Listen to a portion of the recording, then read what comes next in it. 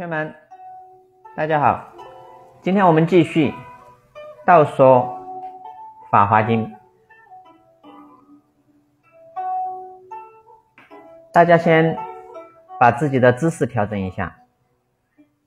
每一次我们来学习的时候，我们首先是对自己的身心进行调整，一定要让自己放松。如果处于很紧张或者烦躁的状态，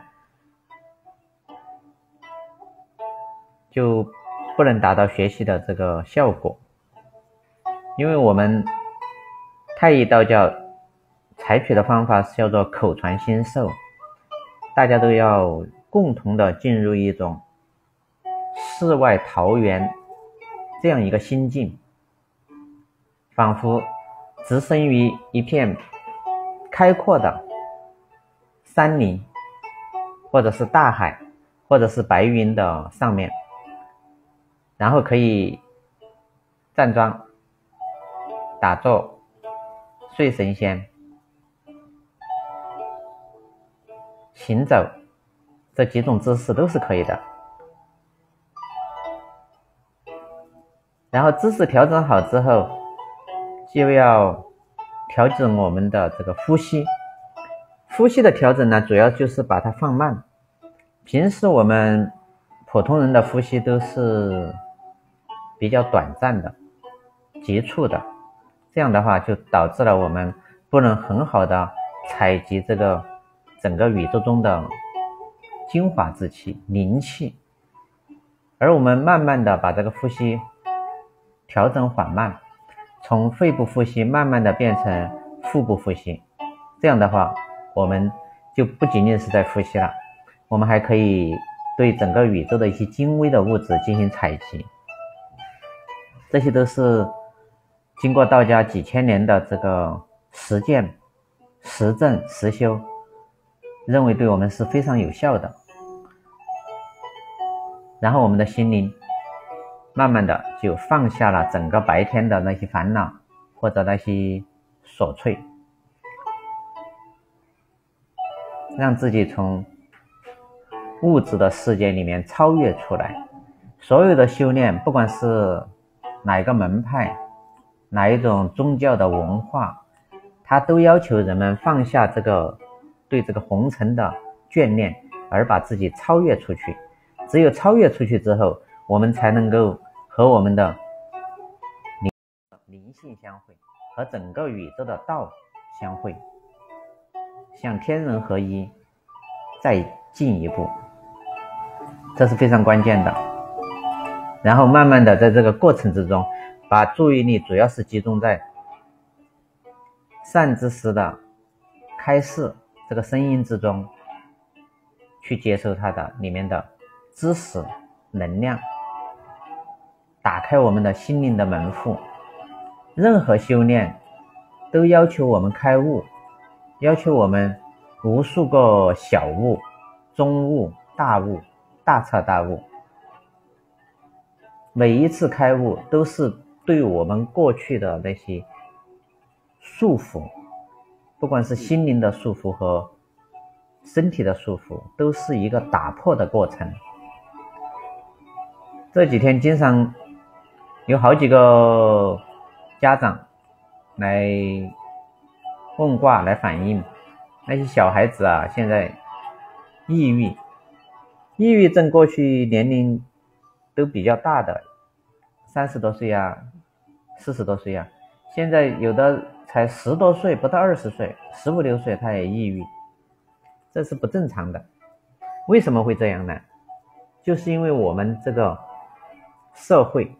家长、学校和这个环境给我们这些孩子们的压力太多，束缚太多，使得他们慢慢的进入了一个不能摆脱的一种捆绑之中。然后他又想挣脱这种束缚，但是他又没办法，没有方法，最后就抑郁症。这是一件很可悲的事情，而且抑郁症用现代医学。是很难解决的，所以说我们认为这一类的情况，学道、学习我们传统的道家文化是捷径。现在很多人来问我这个疾病的问题，所以说今天我想讲一下这个疑难杂症。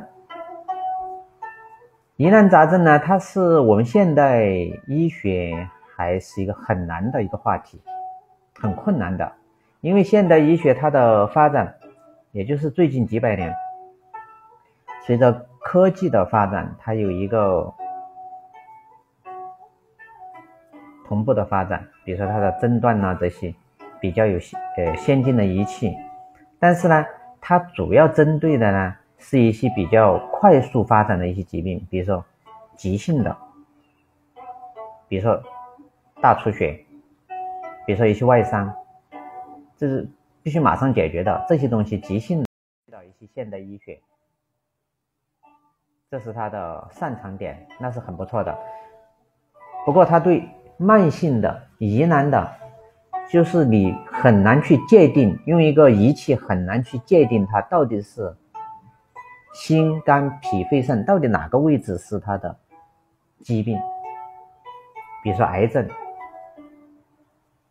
比如说发现了一个肿瘤在某一个位置，其实现代医学很难去界定它就是那个位置。比如说有肺癌，那个肿瘤长在肺上了。是不是他的病就他的根源就在这里呢？现代医学只能从肉体这个层面发现，用现代的检测仪器去发现，然后他们的方法都是直接的、简单粗暴的，叫做三招嘛：手术、放疗、化疗。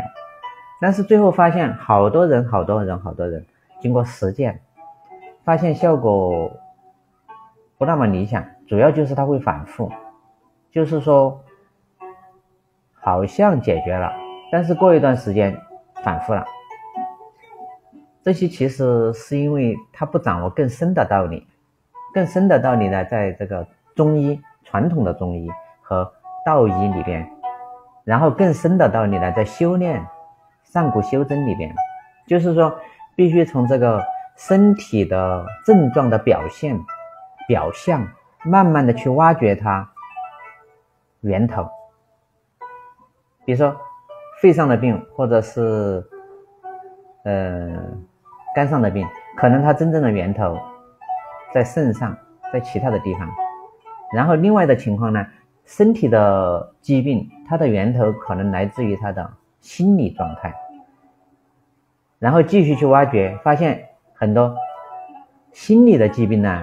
它来自于他灵魂的那个业障、冤亲债主，它里面是一个错综复杂的一个结构，它不是一三言两语可以说得完的，它是非常的、非常非常的复杂。这也是为什么仅仅是用西方的科技是很难彻底的把它解决的。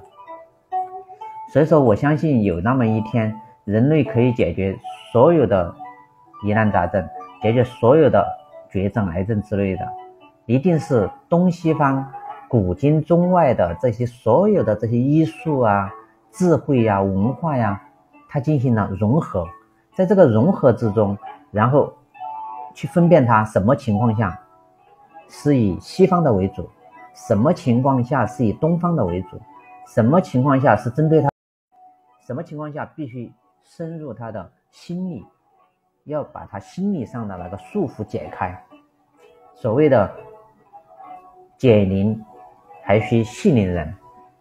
那么更深层的一些疾病，要用修炼的方法去深入他的灵魂，在灵魂里面把它前世，甚至很多事以前那些障碍，把它一一的破解，这样可能所有的病就解决了。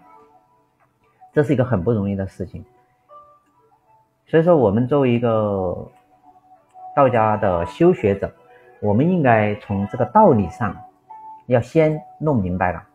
如果道理不明白的话，就无法指导我们去实践。所以说，我们学习任何的经典也好，修炼也好，佛家也好，道家也好，你最终是首先抓住它的根本，它的根本是什么呢？就是我们要知道这个道理，它的源头在什么地方，我们怎么去抽丝剥茧，一步一步的把它问题拿来解决。所以说，找道家人士来问那些疾病，比如说常常有人遇到了癌症，我这里现在有粉丝都有接近两万九千人。接近三万人，经常有各种各样的癌症，我就发现这个癌症是已经成了一个普遍现象。过去癌症是很少见的，现在是好像到处都是，年龄也是各种，有青年人，有年轻人，有中年人，有老年人，各种层面都有。这是已经成了一个现代的文明病。所以说，我们站在道家上怎么来看待它，怎么来解决它，我觉得这个是很值得我们去深入的。我想表达一个很重要的一个观点，很多人他因为到现代的这种医学里面去治病，他是被动的治疗法。什么叫被动的治疗法呢？就是那个医院的医生让他吃药、吃药、打针、输液，或者手术，或者放疗，或者化疗，这一切都是医院那个医生他直接。给予这个病人，病人做什么？病人什么都不用做，被动的等在那里就可以了。其实真正要解决问题，特别是慢性病、疑难杂症，需要我们主观能动性，就是我们尽量去参与。比如说，好多病都已经达到了那种绝症的地步，癌症那个地步，他如果仅仅是被动的接受，我觉得还是不够的，应该主动参与。什么叫主动参与呢？按道家的观点，就是说，首先要明理。这个道理靠什么呢？应该来听听我们太乙道系的这些文化、这些课程。这些课程虽然是已经有一两百个小时，但是你只要有耐心，慢慢去听，慢慢你就会找到那个根源。这对我们把疑难杂症彻底去除，把这个癌症彻底去除。有不可替代的作用，非常重要、非常关键的。这是一方面，就是心理层面的。心理层面靠什么？靠听课，靠听师傅的开示。他在大量的熏修之后，他会慢慢的一点一点的来打通他的心灵上的一道一道的封闭的门。这些封闭的门是怎么形成的呢？是一个人用了一生的时间从。两三岁、四五岁开始接受家庭、父母、长辈的教育的时候，就开始形成。父母会给他设定一个一个的门，然后到学校、幼儿园，幼儿园老师又会设定一个一个的门、一个一个的墙、一个一个的框架。中学、大学、社会、公司单位，每到一个地方。都会有各种各样的规矩，各各种各样的一些条条框框。这些条条框框对做工作呀、学习啊，它有它的意义。但是对我们要想把身体彻底健康、疑难杂症、绝症彻底治好，就需要把这些条条框框一个一个的打破，要变不可能为可能。如果你这一条条框框你在心理上不打破，一个比如说打打个比喻，一个癌症，所有的人周围的所有的人都告诉他这是绝症，你的寿命只有三个月，甚至有的寿命半年，有的寿命一个月，这是一个什么？这是一个社会强加在我们病人身上的一个束缚，一个牢笼，思想上的牢笼。这个东西先要打破，如果不把这个打破的话，你仅仅是在身体上做文章是行不通的，或者说达不到最理想的效果。所以说我看到那么癌症啊、绝症越来越多，我我都为大家着急，因为我们每个修炼者首先要升起的是什么呢？慈悲之心，看到别人病了就要想到感同身受。他的头疼，我就感同身受，我就觉得自己头疼的不得了。他的肝脏疼，我也感觉肝脏疼的不得，这叫感同身受，这是我们升起慈悲心的一个一个心理基础。当然，通过修炼之后，我们好多同学他真有感觉，这叫感应，对他身体上真有感应。对面来了一个很严重的病人，跟他说话，有个同学就跟我说，打电话跟他打，打了之后他就感觉很不舒服，头疼，像爆裂一样，赶紧问对方，对方阵痛，阵痛的厉害，这几天身体也有感觉，这个是升起慈悲心，这个不是要去厌。厌烦对方，也不是要讨厌对方，而是先有同情之心、怜悯之心，然后就想我要用我的知识去给他做解决、解决问题。所以说，我们要大量的吸收这些道家的精华知识。第一个解决问题的，就是要通过这个开示。为什么叫开示？打开他的心灵的门户，示做一个示范。所以说叫开示，开示就是要从心理上敲开他这些封闭的东西，而且这个东西太顽固了，可能敲一次还敲不开，怎么办呢？让他大量的听课，这是唯一的办法，这才是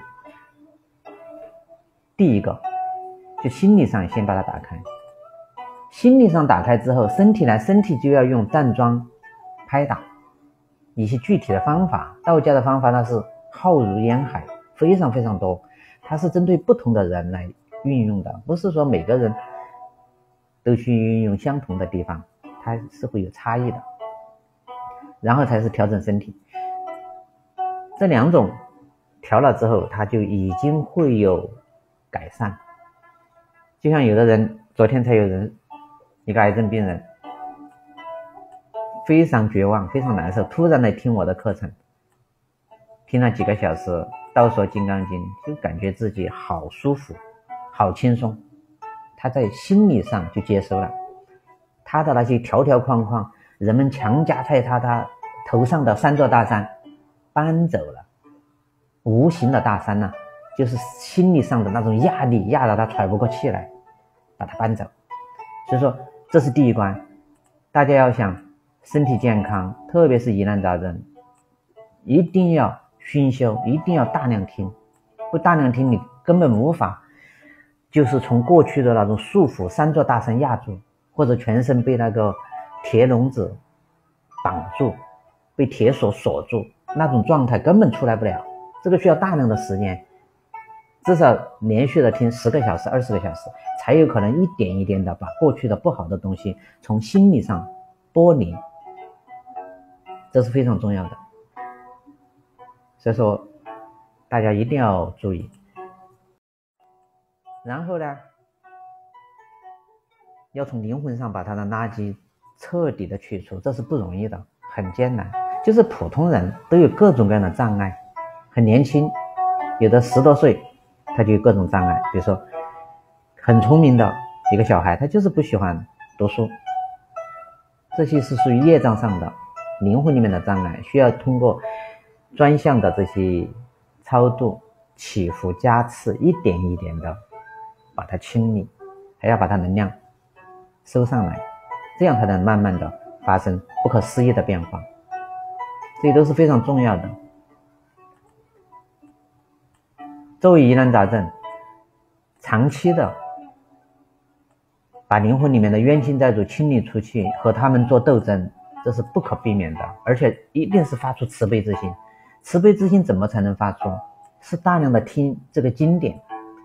有的人有个同学就在问说，我们是不是要去看那个经典的原文？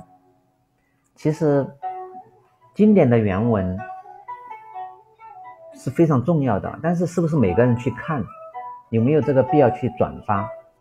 我们认为，从道家的观点，它不是最最重要的。道家讲三宝：道、经、师。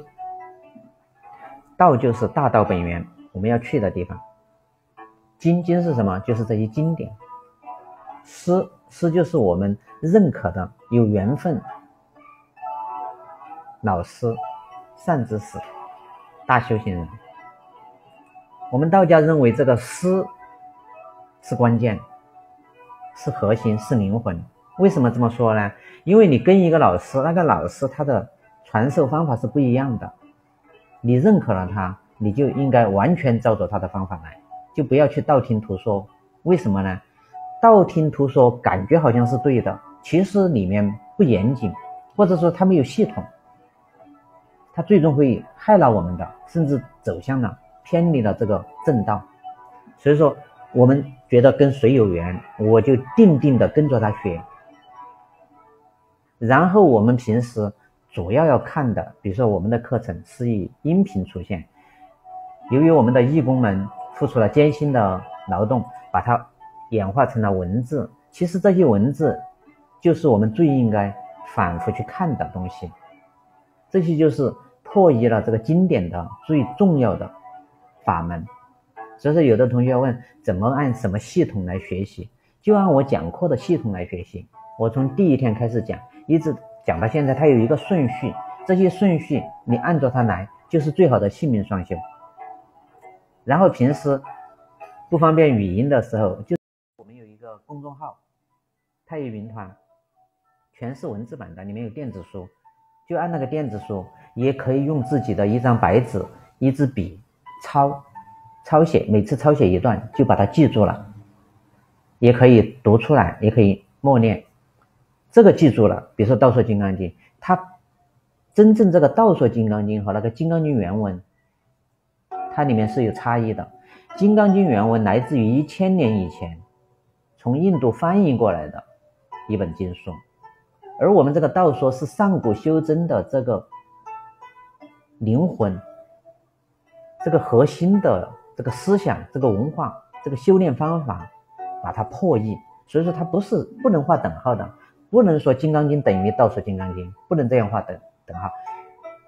就像一个武林高手拿上一片树叶，就可以作为武器，不能说那个树叶树上那个树叶和武林高手手上这个树叶画等号，不能画等号的。所以说，我们道家的思想认为，跟着师傅走就对了，除非你不认可那个师傅，你可以离开。但是你如果认可他，就跟着他走，就学习他的东西，你在。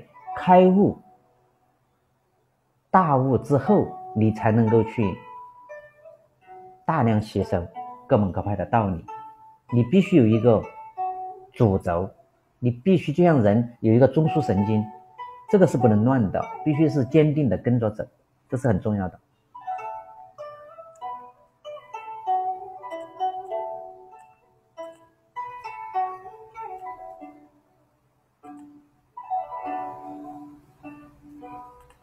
下面我就进入今天的这个主题。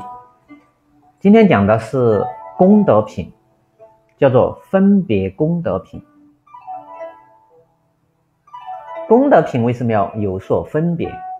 它这个分别不是说一定要分出一个高低、上下贵贱，因为这整个宇宙它从一个本源来说，它都是一个平等。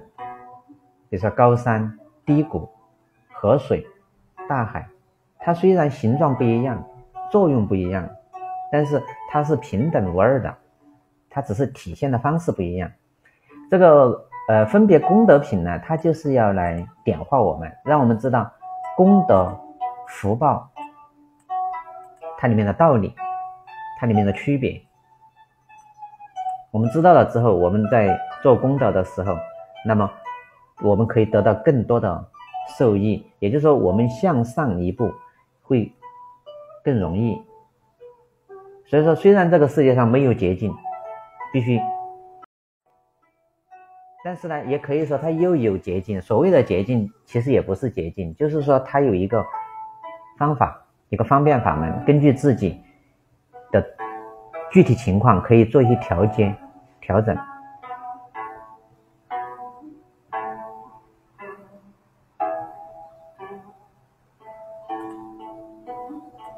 这一天，上面那个世尊就是一个善知识，坐在上面，下面就来了好多好多的学生，因为他每过一段时间就跟学校上课一样，所以说我们修行，比如说道教文化，它是一种文化，而道教呢，它是一种用道来教化大众，这种形式。所以说，它可以超越了各门各派，超越这种人们的各种不同的这种思维方法，我们把它超越出去，超越人间，超越三界。我们只是抓住它的真理性，就是它的对我们实修实证有什么帮助，我们抓这个都就可以了。所以说，我们不要死于句下，一定要知道这些一切的一切都是子曰之舍，所有的经典，我们只要得到了经典的那个精神就好。当我们没有得到精神的时候，肯定我们需要反复听，反复去熏陶自己。但是，一旦得到了，就开悟了。因为上一次课程讲的是这个世尊，他在讲这个一个修大修行人，他的达到一定的境界之后。他的那个寿命呢是非常非常的长远，以劫数来算，就是说以一年多少，一亿年、两亿年、三亿年，就是他这个寿命可以连续不断。我们人类这个寿命都是有生有死，有生有死，不断的轮回，而且寿命不长，一百年，大多数人是到不了一百年。但是通过这个修行之后。它里面那个坚固的那个如来，也就是说元神，道家叫元神。如来呢，它是指的这个灵魂的不断的累积这个功德、福报和能量，升华到一个境界之后，它的寿命就大大的延长。他上一集就讲对这个寿命进行有六百。八十万亿，那么的长远久远，然后下面的这些同学们，好多学生在下面听听讲，都觉得不可思议，因为都知道一般的普通人寿命是很短暂的，动物的寿命就更短暂了。比如说现在的那些宠物啊，狗啊这些，十多年、十年就就差不多结束了。一些动物，所以说它这样寿命如此之长。而且他那个心能够如如不动。所谓如如不动，就是遇到任何的外界的这种冲击和变化，哪怕景象在变，就像水一样的外景在变，他这个内心最深的那个地方是不会动摇的，是坚定的。就像我们对太乙救苦天尊、对东方长乐世界，慢慢的就升起了一种坚定的信心，这就是信仰。它就不会动摇，它就如如不动，它可以生生世世记录在我们的灵魂最深处。这些是很重要的，也是一种修行的一个很关键的地方。然后下面的所有的同学们在这个过程之中觉得非常的稀有，就升起了信心。然后有不同的众生用各种不同的方法进行供养。比如说，有些用天上的那种香、异香、天香，来从天空中落下来，对这个大的善知识进行供养，成了供养大会。有的是用其他的一些什么摩尼珠啊、如意如意珠啊、珍珠啊、玛瑙啊等等各种各样的，我们人间都没见到过的，从天空而自动而降。所以说，这是也是。展现了一种不可思议，因为在那个说法进入很深的状态的时候，它其实是一种表法。他说的所有的内容，我们从最开始讲经，大家就应该明白，它是超越这个肉体的，超越这个物质世界的。所以说，只有我们真的深入进去之后，像我们有的同学，他就感应到天尊赐宝，送了一个宝物给他，他就知道别人不知道，可以。放在自己灵魂的深处，而且只要我们能进入那个境界，就可以拿出来用。至于说功用多少，那是自己的修为了，自己开悟的这个境界不一样，他最终感悟到的东西是不同的。但是呢，不管怎么不同，它都是真实存在的，只不过它维度不一样。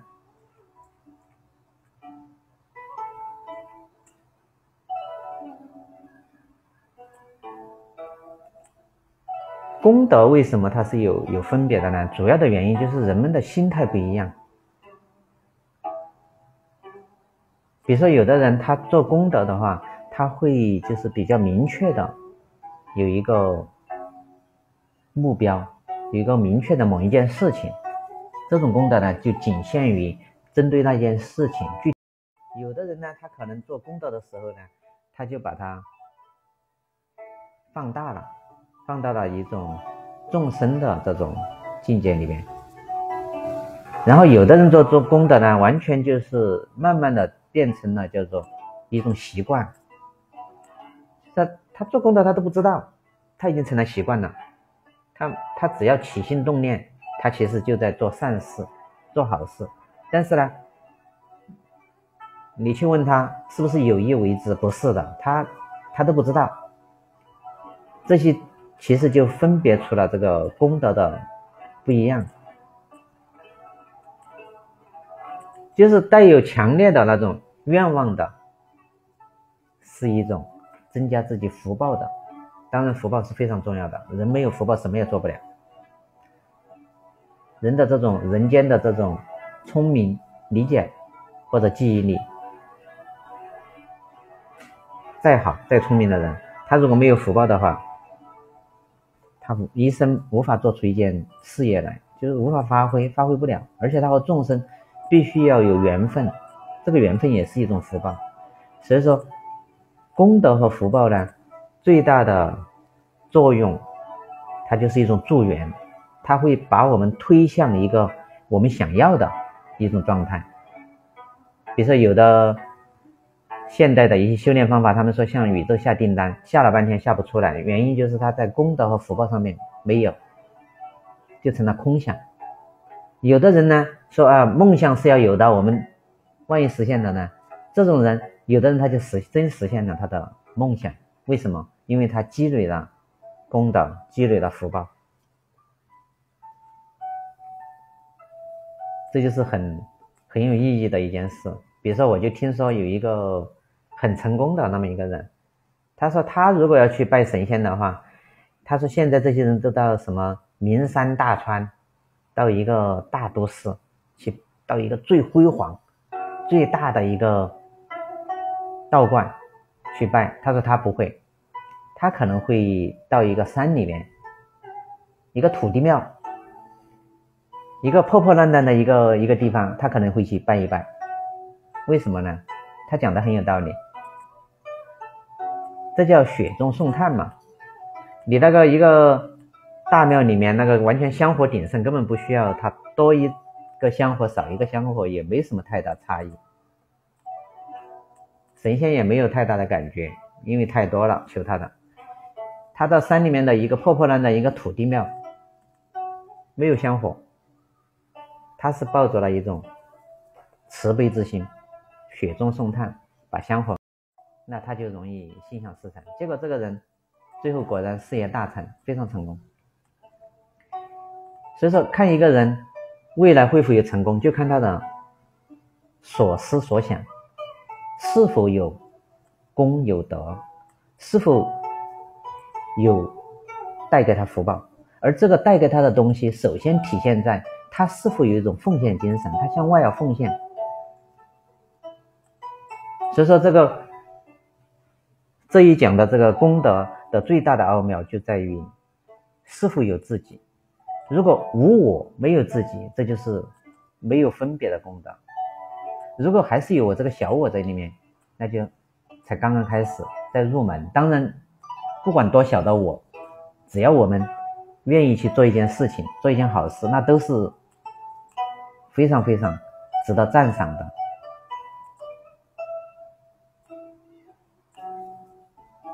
这个师尊他告诉他的学生说，当年他。那个在那个世界修炼转生了无数次之后，他的那个寿命可以达到无生法忍，寿命非常长远，达到六百八十万亿，我们可以理解为八十万亿年，可以这样理解。当然，其实这个里面真正的奥妙来自于我们早就说过，我们这一分段的生死是肉体上的。这个层面，如果我们能彻底开悟、大彻大悟，能量福报功德具足的话，我们能进入这个元神这个层面，它本身是不生不灭的。所以说，这个六百八十万亿年的寿命，这也只是一个子月之手。因为其实这个灵魂真正修成功了，这个元神比这个还要久远。为什么呢？因为它不生不灭呀。既然不生不灭，你随便多少年多少年。一百万亿年，一千万亿年，一万亿一万万亿年，那不是都存在吗？所以说，大天尊是在上面。你这个宇宙不管怎么运转，三千大千世界，他们都是无所不知、无所不能。原因就是他其实跟这整个道同在的。我们修行的目的就是要向上面走，要。把这个境界向天尊们靠近，向太乙救苦天尊靠近。哪怕我们没有这么高的境界，我们只要一直向那边修，平时多念九字真言，百年之后一样的往生东方长乐世界，他就不生不灭了。然后天天跟着这个太乙救苦天尊学习。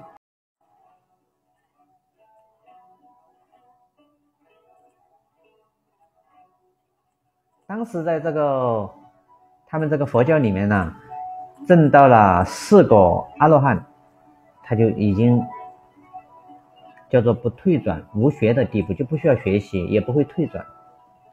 所以说，下面的那些人，那些初入门的那些学生们，都是非常向往这种境界的。所谓的如如不动，了了长明。但是实际上，这个罗汉这个这个境界，就相当于我们。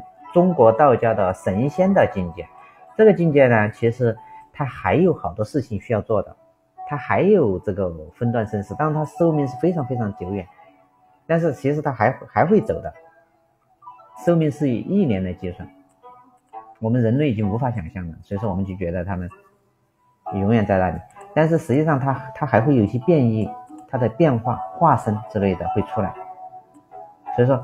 他那个境界还不一样，还要一定要到大罗金仙，到了大罗金仙这个境界，他就是把整个三千大千世界全部融合，天人全部融合。所以说，在整个修学的过程之中，要有一种很大的发心，而这个发心再大呢，要落实到每一天的学习。而我们的最关键、最重要的学习，就是。听经感悟，听经感悟是最重要、最重要的。很多人在问，特别是初学者，说我们怎么入门，怎么学习，要和师傅见一面。其实，在这个网络时代，只要能听到师傅的声音，就等于已经和师傅见面了。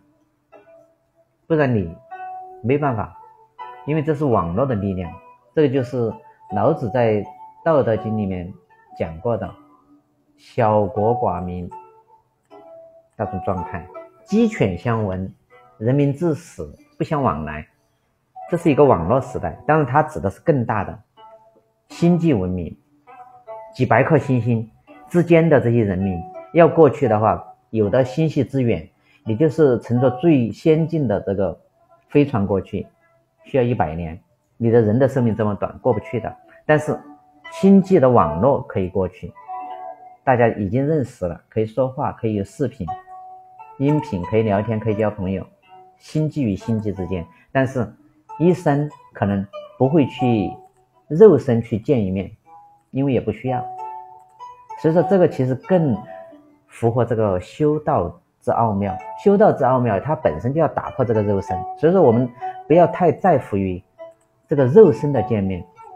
如果要靠这个肉身的见面的话，我们其实一一辈子见不了几个人，见不了多少人。通过文化，通过这个思想的交流，其实也就等于已经见面，甚至可以说，我们的同学在千里以外，有的在新疆，有的在蒙古，有的在西藏这么远，有的在国外的英国、美国这么远，但是其实那种心灵的交汇，可能比邻居还要走得近，因为他的。同频呢，就是大家的修学爱好都是一样的。所以说，哪怕千山万水都阻不住那种亲切感。所以说，好多同学说一听师傅的声音就觉得有亲切感，虽然感觉啊师傅的这个普通话好像不太标准，没关系，不能阻挡那种亲切感。为什么呢？就是大家是同频的，而不在乎这些物质层面的，非得有一口标准的普通话，或者是怎么样，有一个自己的形而下的一个东西，不需要。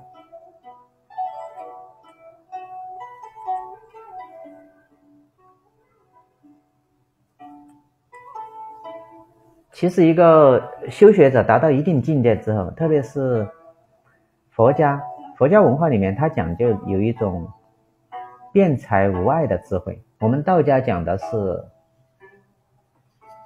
上士不变，下士好争。所以说这个变呢，看怎么去理解它。我们可以把它更加的和谐掉。怎么叫和谐掉呢？就是不是要去争论。不是要去辨别，而是说我们要把自己所知道的这种法门、这种宇宙的真理传达出去，可以这样理解这个变，那就是有很好的意义，与一切名相无不通达，感觉好像是无所不知、无所不晓，什么都知道，任何一种经典、古今中外的一些知识啊、一些文化呀，拿过来。都可以拿来解说，对里面的义理，《易经》讲一个义理，意义的义，理论的理，是无碍的，就是中间没有任何一种东西可以让我们感觉困难，我们都可以通达，无碍。然后虽然我们语言不一样，比如说我们说的是中国话，有的人说的是英语，有的是德语，有的是日语，有的是方言、地方语言、土话，但是。他要表达的意思是通达无碍的，而且一定要注意，对不同的人说的内容会有所是见人说人话，见鬼说鬼话，那是一种错误的说法。真实的其实是为了对峙，就是我曾经跟你们讲过的这个《六祖坛经》里面有三十六对，三十六对其实就是七十二变。辩论的辩，这就是孙悟空的原型。慧能，慧能实际上是大罗金仙，是我们道家的一个人物。当然，他融合了佛家，他身在佛门，但是改造了佛门，用道家的思想去改造了佛门。它里面三十六变，其实就是对峙的意思，就是怎么说呢？对方很容易发脾气，很容易生气，很容易激动，像这种人。说法的时候就要让他理解，要忍辱，要忍受很多别人的一些偏见呐、诽谤啊这些，要把这个作为自己的重要的修学法门。那么对有的人贪心特别重的人，特别是比如说有些做生意的、搞企业的，他的贪心就比一般人要重很多。这种人就要告诉他多做布施之法。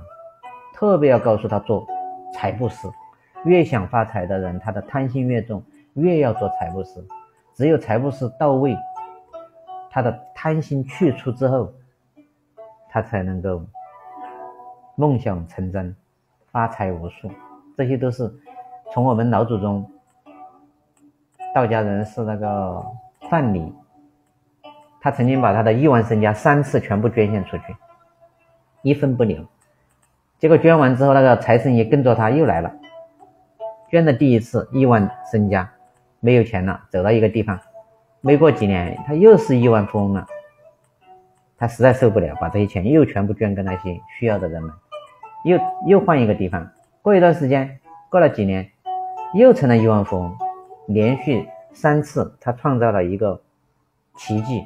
他其实是在表法，在告诉我们真正的奥妙，财神。布施，财神爷是布施，财神爷不是要要贪心贪多少钱，而是把他的这个财物布施给那些善良的人。天道无亲，常与善人。有的人痴心很重，对男女之事特别的，比如说有的人喜欢某，当年轻人特别多，一般到了一定中年之后，可能这方面就会开悟，会会明白很多道理。年轻的时候，十多岁、二十岁、十八岁，他会暗恋一个人，喜欢一个人，他痴痴心不改，他就会一直单相思。其实对方没什么感觉，是要对他没什么，就是不太说话的。这种传授法门就要传授智慧，让他看清、看清楚这个道理。就是他不是说你单方面要怎么样，它是一种缘分，而且是牵涉到前世在前世的一些奥妙。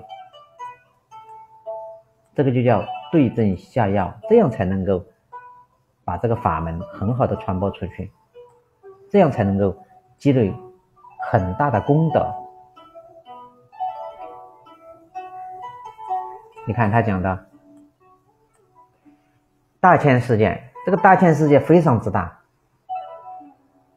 里面的这些修行人也是多如牛毛，修行的人非常非常多，并不是我们并不孤单，神仙也很多，他只不过居住在不同的世界。一个小的世界是，就像我们现在的银河系，就是一个小世界，一个很小一个小世界。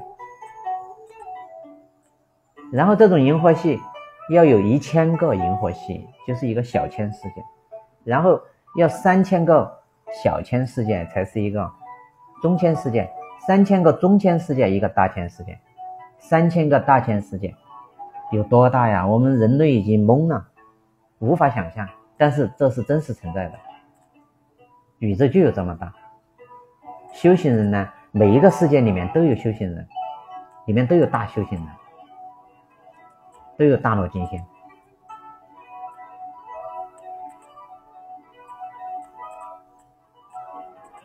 这些修行人为什么从普通的修行人慢慢进化为佛教里面的罗汉、菩萨、道教的神仙、大罗金仙、天尊？他是怎么一步一步，就像就像进化一样修上去？是怎么修上去的呢？首先是让自己的这个心清静下来，看穿这些物质的局限性，看穿我们这个肉体的渺小。一粒尘埃，我们的这个百年转眼即过，生生死死无数的轮回，它本身如果不修行的话，没有任何的价值，没有任何的意义。就像我们去看我们的祖辈、长辈那些活了八十岁、九十岁，我们去问他。他们如果不修行的话，他们对未来就处于一种无名状态。所以说，人生最重要的就是修行，而最重要的就是摆脱生死轮回，这是人生最大的一件事。其他的所有的一切一切，在生死面前都是小事。哪怕发财亿万的最大的富翁，死死了之后，他的财富一分钱带不走。有的人为富不仁的话，可能还会。到地狱里面去受罪，受满之后才能重新出来投胎投生。但是修行人哪怕一无所有，一辈子都做好事，反而升到天界去。天界的寿命那就比人类长了太多太多了。就算是有轮回的这种比较低的欲界天的寿命，也不是人类可以想象的。他们所得到的福报，就是人类的首富跟他们比都是如此的渺小。所以这是要超越的。这也是这部经典里面反复要告诉我们要超越的地方，就是我们要让自己的心如如不动，然后要超越这个生死，超越所谓的这个果位。不要觉得有一个什么好的果位它很了不起，一定要超越过去。只有超越才能不生不灭，只有超越我们才能回到这个道的本源。这才是我们真正要把握住的一个东西，而要。得到这一切靠什么呢？放下自我，靠布施，积累功德，积累福报，然后把这个功德福报大量的积累起来之后，做一件事情，摆脱六道轮回，那就是一生成就，不会再去受苦，因为其实人生很苦。我这里有大量的同学们来跟我交流，不管是心理上的困惑、钱财上的困惑、婚姻上的困惑，或者是疾病，都很痛苦，都是生不如死、绝症，或者感觉是天天都在那个煎熬之中。就像所以说，地狱虽然是很苦很苦，但是在人间。这些绝症的这些人们，或者是正陷在那种困难之中的人，他天天的煎熬叫做度日如年。这就是为什么时间也是有变化的。有的人一百年一转眼就过了，有的人一天好像就过了一百年了。为什么？太痛苦了，每一分每一秒都在煎熬。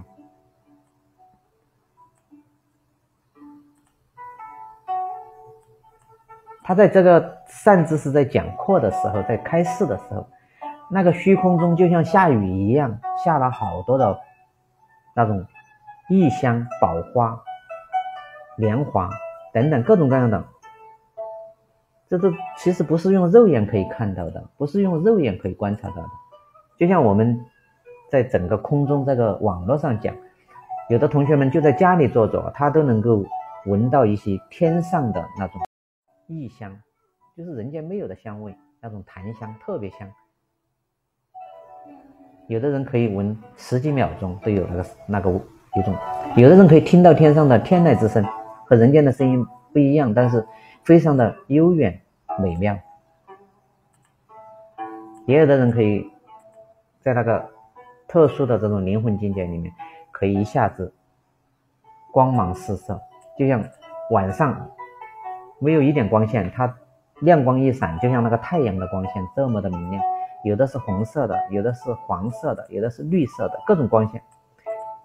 这些都是灵魂层面得到的开发，里面拥有的这种力量出来了，能量出来了，馨香出来了，鲜香出来了，这些都是非常宝贵的。所以说，我们为什么每一次修炼最后要求大家一定要收好功？收功其实就包括了把这些所有口传心授的这一切，全部收入下丹田，皆为一颗小小的金丹。这是未来超越这个三界非常重要的一个能量库，有点像那个做火箭升天那个能量库打开，就是我们道家讲的性命双修金丹法门，它的好处。特别是在我们离开人间要百年之后那一寸那一瞬间，它要起非常大的作用。有的人会直接就气化了。什么叫气化了呢？就是他这个肉身不存在了，一点一点的化为白云飘走了，是这种能量的体现。有的人会红化，就像一道彩虹。飞到天上去了，这些都是古今有很多记载的，很神奇的一些一些东西。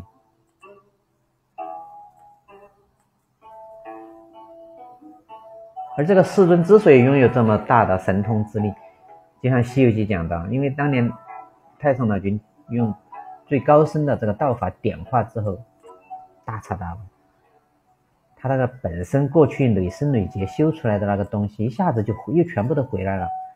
所以说，修行最大的奥妙是返回去，返到我道的那个层面，什么都回来了，什么都有了，就和人间的这个就不一样了，而且它永不退转。现在有些同学们修炼，比如说半年，有的修炼一年，有的修炼两年，甚至有的修炼五年。他有的人因为生活的种种的变迁，他会有退转现象，而到了这个时候就不会再退转。就是他的所有的布施、福报、功德、能量，都转化为在他灵魂层面里面兼顾了他的这种道，永不退转，这才是真正的修炼的最奥妙的地方，也是最重要的地方。因为只要有退转的话，前面就前功尽弃了。所以说一定要很坚定、很坚固，最后才能得到一切智。这个一切智不是人间的知识，而且是超越世间的，是法界、十法界的不生不灭、不二的这么一个一个智慧。虽然这个人的肉体，一个修成功的人，就像过去那个。一些禅师，他其实已经修成功了，比较会了，但是他那个肉体还在人间，相当于这件衣服还没有脱去的时候，看起来就是吃饭、穿衣、睡觉和普通人没什么区别。但是其实他里面那个灵魂早就化为道，与道合真了，早就是原生的状态了，早就是不生不灭。就像刚才这个如来里面讲的，可以他的寿命是六十八亿年。亿亿万万年，那个寿命是如此的久远，是永远不会死，而且那种感受到那种那种快乐是是人间是无法最快乐的事情，无法体会的。因为人间最快乐就是叫做孔子说的叫做食色性也，一个是食食物最美味的食物，色色就是指的这种。男女的事情，它里面在某些关键的时候，它会体现为很快乐。但是这一快乐，跟这个修道的得到的这个快乐，百万分之一都不到，百千万分之一都不到，那是完全不在一个层面上的。而一旦向这个上面走去，所有的疑难杂症就容易去除，所有的癌症就容易去除，因为归于虚空之后，他在身体无法停留，业障嘛。业障它就是一种物质，既然是一种物质，怎么能在虚空停留呢？我们最终要返回这个虚空之中，我们的整个身体要化掉，就是我们首先在心理上要把这些化掉，身体上要把它化掉。所以说，整个修炼有时候它不讲治病，病已经好了，问题是大家要进入那种境界。他才能够彻底把这些疾病一扫而光。如果我们老是进不去，那是不是有的人他的病人没有这个知识，他进不来，没办法可以结缘，就是他的家人可以帮他做，帮他听经，帮他来听我们的课程，帮他做专项的超度啊、祈福啊、加持啊，然后观想回向，让他得到这种利益，这是可以的。但是。你要想达到最好的办法，那肯定是针对身体、心理、灵魂三方面同时让他参与，这才是最好的。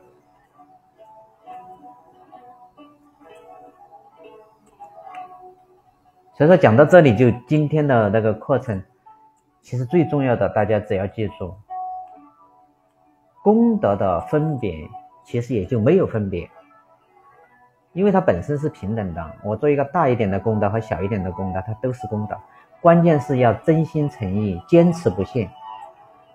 就像我们的水洗，好多同学已经坚持了两年，他每天进入那个连接去，几块两块，他在里面水洗，他这种坚持的力量，那是最终会不可思议的从量变到质变。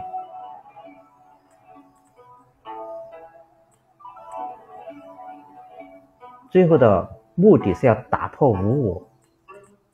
最后我们做供养师傅啊，供养善知识啊，不管或多或少，财布施，或者是对众生进行帮助，他已经不会再想这件事情。这个时候，真正叫做无相，他就离那个道不远了。就从三返回二，返回一，就在一这个位置了。也就是说，只要一个人通过对功德的这种长期坚持不懈的努力的去修选，他所积累的就永远可以让他升到东方长的世界。他如果有的人他还想返回来。他一定是以非凡之身返回。就像有的人会以一个历史上的那些什么大大的诗人呐、大的文学家呀，甚至有的人到朝廷里面做一个大官、大人物，这些人他有的人就是属于叫做道家慈航而来，他本身已经进入神仙的境界，因为他过去做的这种布施功德，他全部都转化到灵魂里面去了，他就其实带着他到了仙界去了，但是他还是觉得众生太苦。我每次看到这些就是正在受苦的，特别是一些很疑难的疾病，我就感觉到有必要让我们这个道家的学说，让每一个有病的人都知道，让大家都学习，因为感觉他们实在太苦了。因为好多疑难杂症、慢性病，用普通的方法根本没办法。被动的疗法没办法，这个必须自己参与进去，用道家的方法来。所以说，今天我要讲的内容，我并不是按原文来讲，这就是为什么我们学习知识以师傅的为准。原因就是，我们觉得最重要的分别功德品就是不分别，这就是最好的功德。做功德就是做功德，一心一意去做。就像这个，他讲了一个有一个弟子，他做功德，生生世世去做，做了有多少次呢？千万亿劫，我们就算一劫为一年，你想你想想一亿年，他有千万亿年，就是他转世转世都转了几百次、几千次，每一次他修炼都是供养善知识，各种各样的。什么宝台呀，他能拿得出来的，不断的供养，一直达到千万亿劫，最后他证入这个最高境界，就是那个印度佛。我们道家就是证入最高境界，就是大道金仙了，就是他兼顾了这么一个一个信念，一直走下去。所以说我希望最后。在收工的时候，就希望大家好不容易生生世世之后有这个缘分，得到了这种道家的这个传承，一定要把它传播开来，行大乘之法，要有同情、怜悯，升华为慈悲，这才是真正的修炼，而不是说我一个人修炼到一个什么本事，好多人。都想修炼有一个什么神通，有一个什么本事，然后要怎么怎么，这些修炼方法都是小乘的修炼方法，是需要生生世世，而只有大乘的方法可以大幅缩短。别人修炼可能一万年，小乘的还没修成，大乘的一百年、两百年已经修到那个别人小乘修一万年，大乘一百年就修上去了。因为它是靠大众的集体的力量，不是一个人的力量，而且要协同作战，一起配合去做法布施。好了，现在我们收工，大拇指捏在中间，全身用力三次，把所有的这种接受到的这种天尊的能量，这些声音、这些知识、这些光线收入下丹田，结成一颗很小一颗金丹，闪闪发光。太乙救苦天尊大慈悲，太乙救苦天尊大慈悲，太乙救苦天尊大慈悲，太乙救苦天尊大慈悲，太乙救苦天尊大慈悲，太乙救苦天尊大慈悲，太乙救苦天尊大慈悲，太乙救苦天尊大慈悲。太还有几个天真大慈悲